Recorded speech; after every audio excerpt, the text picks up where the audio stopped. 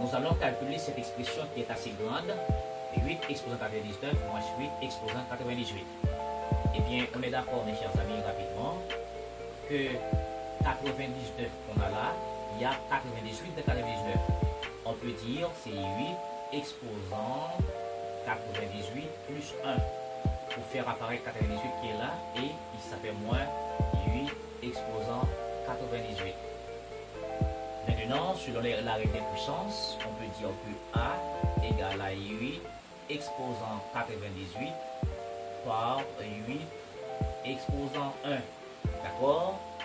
A exposant M par A exposant N, ça fait A exposant M, M, M plus N. D'accord? C'est ça.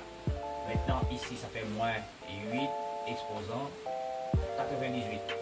Du coup, mes chers amis, on est capable de factoriser par ce terme-là ici. ok? Dans ce cas, A égale 8 exposant 98.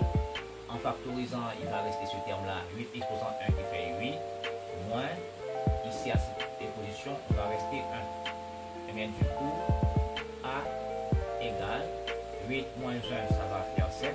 Donc ça fait 7, d'accord, theater nung Pasig ah, Rock.